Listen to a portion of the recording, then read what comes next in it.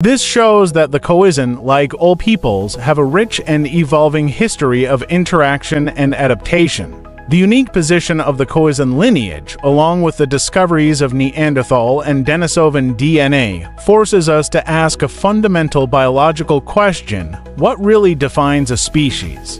In biology, the classic definition of a species is a group of organisms that can interbreed and produce fertile offspring. We know that Homo sapiens interbred with Neanderthals, Denisovans, and now we see evidence that our African ancestors interbred with other archaic ghost populations.